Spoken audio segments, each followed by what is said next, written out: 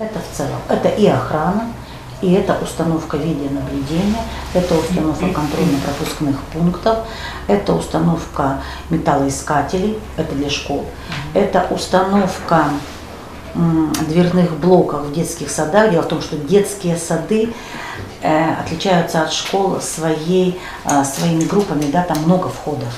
Соответственно, а, там другая будет система видеонаблюдения, ну, либо много нужно входов просматривать. А, И понятно, что турникеты мы на каждом входе не установим. Поэтому там немножко другая система.